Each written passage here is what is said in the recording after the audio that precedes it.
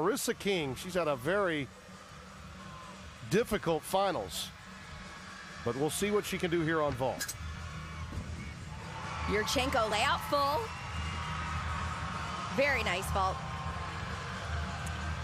But it hasn't at all been the day that she had anticipated, and maybe to some extent this team that won the SEC championship. They lose five